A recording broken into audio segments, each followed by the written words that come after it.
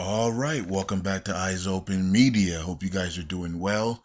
It is uh, December 26, 2017, and as you can see, we're going to be talking about fear of money, okay?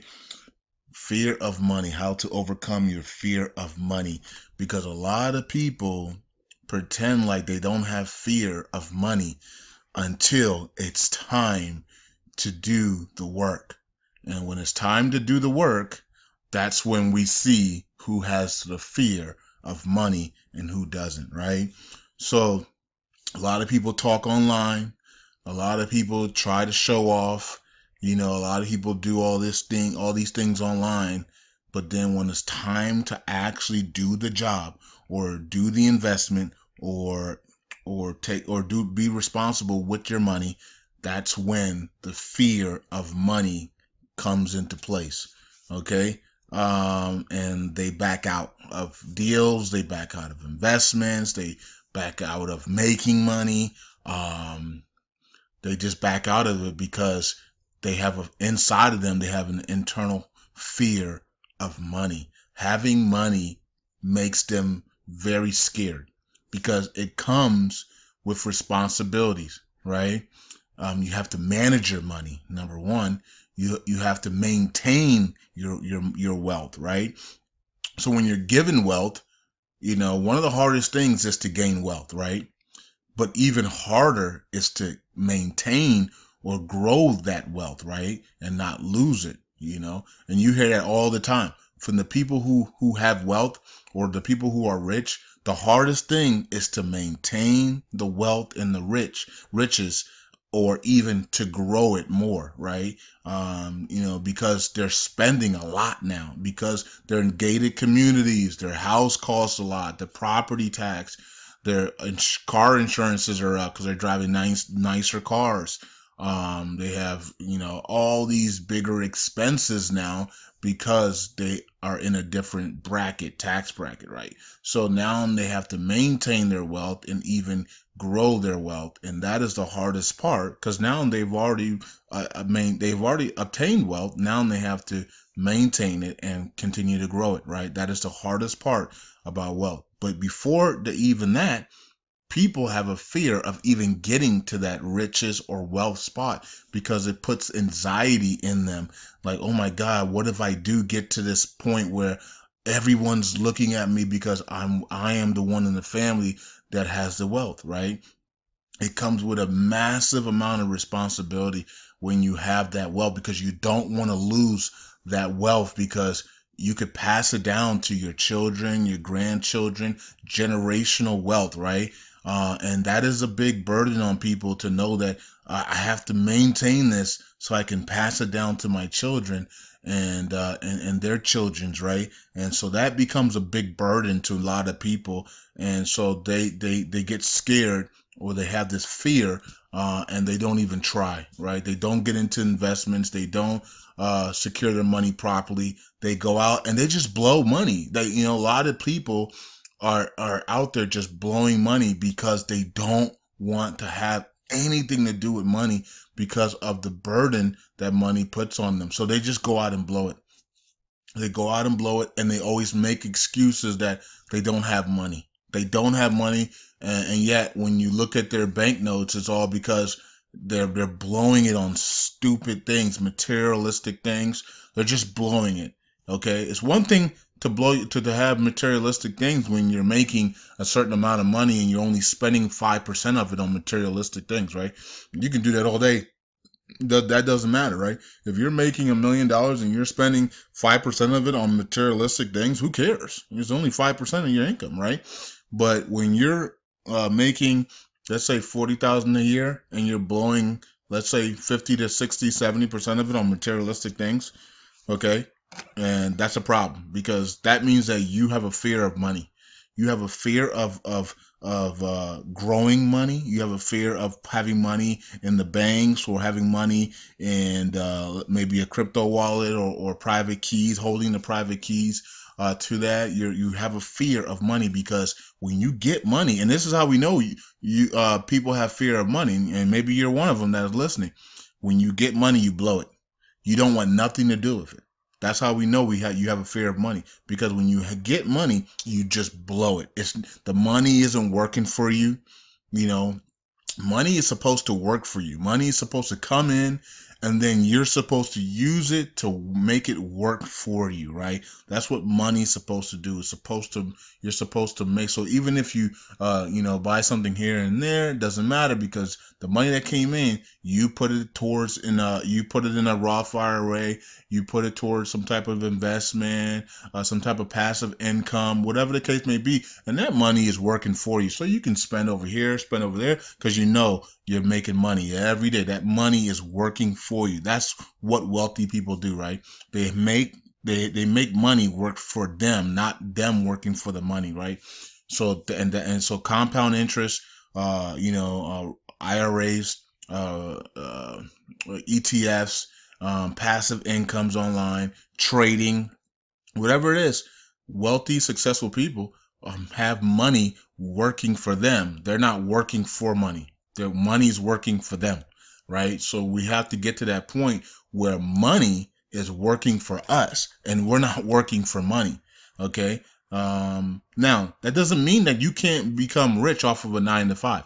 Okay. Cause there's people that are, have become wealthy off of nine to five by knowing how to manage their money and, and putting it into Roth IRAs and other and, and and mutual funds and other things like that and 401ks and after you know 20 30 years they can they retire and they have a million two million dollars in their accounts and maybe they have another million or two in their savings accounts right? And they did it and they they lived life comfortable and and and without blowing it on stupid stuff and they were able to do that. But that's i mean how many people do that though? Uh less than 0.00001 right? Uh, the rest of the rest of the people that work nine to five um, they they they struggle, right? You know, they struggle and they and they don't they don't put money away. And even if they do have a 401k, um, you know, it it's uh, years down the line before that even gets to a million dollars, right? Uh, and then when it does get to a million dollars, it's taxed and all this other stuff like that, and you're left with really not that much to go into retirement for the next 30, 40 years, right? So, um, so yeah, so fear of money right? We have to remove the fear of money in our lives, right? Uh, and you have to just go out there and just make it happen. Make it happen. Let the money work for you instead of working for the money, right? When you bring when you get money, you make it work for you. Okay? You don't go out there and just blow it and blow it and blow it. You got to make the money work for you. You got to put it in investments. You got to take the leap of faith and get your money working for you. Okay. And a lot of people don't do that because they have the fear of money. Okay. So we have to remove that fear. We have to remove the anxiety. We have to remove all of that and realize that if you want to become successful, if you want to become wealthy, if you want to become rich, whatever you want to become, right? And it has to deal with a lot of money, you have to realize that it's going to come with a lot of responsibilities. You just have to you just have to face that. You have to just say, "You know what? I only live once. This is what I want to do. This is what I want to this is the legacy I want to live." I want to become somebody that's that's successful, that is wealthy, and is able to pass wealth down to the next generations, right? In my family, right? If that's if that's you, then you have to just remove the fear. You have to just take the leap of faith and know that you only live once, right? So you got to go. You it's time to move. So hopefully in 2018 those that you guys that have fear of money, fear of having a lot of money, you always have to look over your shoulder if you have money. Okay, because family members are coming or whatever and they and they know that you have money, blah blah blah. You know what I mean? At some point you have to make a decision eh, what type of life you want to live. You could live the life where you don't have any money and you just live in the shadows and you have nothing to pass down to your children and, and you're fine with that and you're fine with the way you you know you're struggling and all that and you and you uh, have to depend on the government and stuff if that if that's how you want to live then you have to make that decision right if you want to live on the other side where you don't fear money you have money working for you Um, you're successful. You have money to pass down to your children. You have uh, you you set up a um, maybe you set up retirement accounts. You have 401k. Maybe you have a Roth IRA. Uh, maybe you have some cryptos. Maybe you have some uh, uh, Wall Street stocks. Maybe you have some um, uh, you know, you have maybe so you have some paintings, you have some investments in painting and art. Um, maybe you have some real estate investments and and land and all these other things like that. And then also maybe you have some wheels for your children and your grandchildren, stuff like that, and making sure that they're secure. Uh, that is a lot of responsibility, but you have to choose what side you're on. Either you're on the side that fears money and just wants to get rid of it uh, at will every time you get it, and just want to spend it and get rid of it, or you on the side that wants to use it to make more money and then able to uh, pass it down as a generational wealth uh, for your family. Okay, and then make and then also you get the because of you because you don't have that fear of wealth. Um, you're able to then live a great life. You're able to have a nice house and nice land, nice uh, nice clothes for your family and friends, nice cars. Uh, you're able to take trips around the world. You're able to do nice things. Um, and you're able to just eat good, right?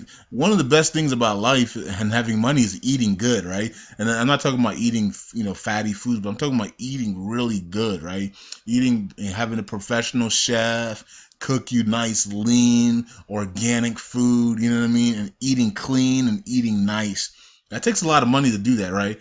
uh, and most of the world cannot do that. They have to eat whatever's available, right? So when you have money and you're and you're and you're uh, responsible and you have no fear of money and the money's working for you, guess what? You get to now hire a chef, a personal chef to come in your house and cook lean organic foods for you and your children and your family so you guys can live longer and healthier and hap- and, ha- and, and, and happier um, and so that's really a po- real positive thing. If you don't like nice cars, then at least, you know, a lot of times those who don't like nice cars like nice food, right? And so you can, so instead of buying the nice cars and stuff, you could have regular cars and, you know, and you can have the chef in the house, right? A personal chef when because you're you're responsible with your money and you have your money working for you, you can get a, a chef to make you nice lean food, right? Nice uh, organic lean food, and your family could eat healthy, and uh, you can have salads and vegetables and and all that good stuff, right? And that's because you take care of your money and you have and you don't have the fear of money. Now for you guys that have the fear of money, that's not going to be you. You're going to be eating whatever's available, the fast foods, the whatever, you know, the cookies, all that stuff and and and you're going to be having the problems right in the future because your body can't maintain that type of eating right? So and that's what we see all the time with people just bodies just break down right because of the way they're eating and the way they're living right? So we want to so this is why it's important to get that fear of money out of your way right? It's all it is is an, is an illusion. It's a deception. It's an illusion that's in your path.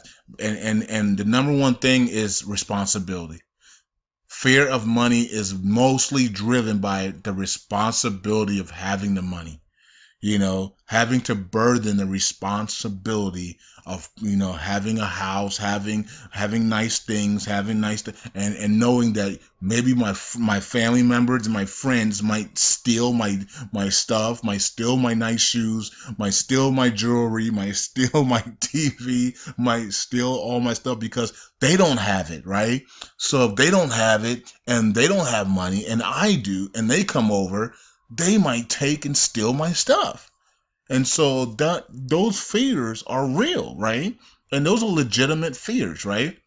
But you have to make the decision on are you going to stay in that world or are you going to just say, you know what, regardless of that, regardless of all of that, I'm going to make sure that I'm on the side uh, side of success and wealth, right? And then I'm going to use that uh, to make sure my children are also uh, on that side, and they also grow up in the in the area of responsibility of money right? Because when children have when children see that you have money and they see that they're in the nice houses and stuff they they don't fear money right? And they they they don't go work for people. They open up their own jobs i mean their own businesses because they see mommy and daddy do it right? So then the child says i'm not working for nobody okay the child says i'm opening up my own business and usually it's going to be uh, starting online. They'll open up their own online shop, whatever it is, maybe a clothing brand or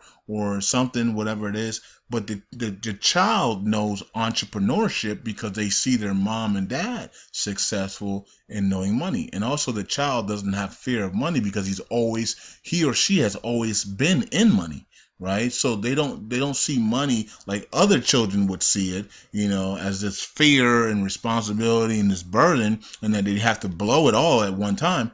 They don't they don't see that. They see it as money is going to be working for me.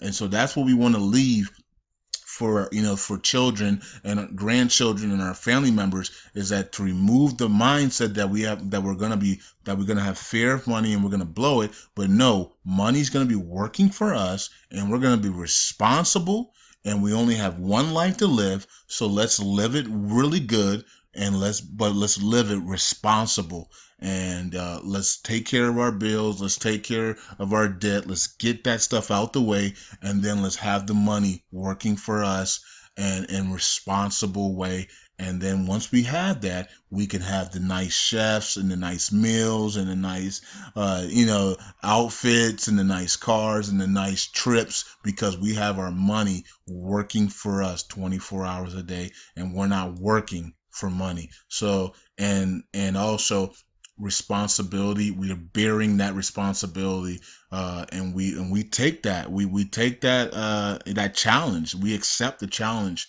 of responsibility of money. Because if you're going to be wealthy if you're going to be successful you are basically telling the world you are taking the responsibility of of uh you know of money right? You're taking you're bearing that responsibility of being responsible for money, being responsible to keep your money and maintain it, right? Because if you don't, everybody in your town, everybody in your family, and the local news will know about you, right? Because we've seen millionaires that de- haven't taken uh, that responsibility and they have absolutely lost it all. And it's on the local news. the family members are embarrassed. The children are embarrassed. The neighbors are embarrassed. And, and that's because they didn't bear the responsibility of money and they didn't know how powerful that they that they were until they lost it all. And then now you're on the local news of losing it all, right? And your family is embarrassed, right? So this is why people don't want to have money. People don't want money because they know that if they lose it, the family has to bear the responsibility and the, and the shame that would happen to you, you know, and and so does the town and the neighborhood, right?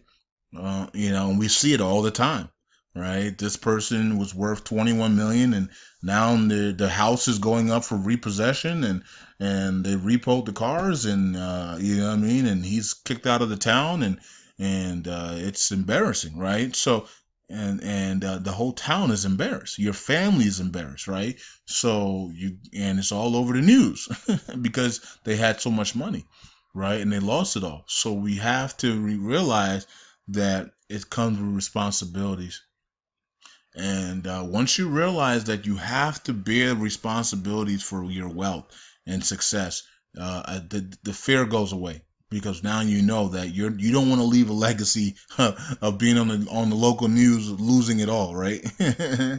okay, so I mean things do happen, and you know, but at the same time, it is really embarrassing. okay, so remove the fear, uh, you know, tell yourself that we're going to, we got one life to live and we're going to be responsible for money and we're also going to make money work for us instead of us working for money. All right, so that's how we're going to do it. In 2018, you're going to remove that fear of money. and you're going to make money and you're going to make money make work for you and you're going to become uh, successful and wealthy people and we declare it and we decree it now. And uh, and, you, and that's it. So i'll talk to you guys later. Hope you guys enjoyed this teaching. Eyes open. See you tomorrow. Bye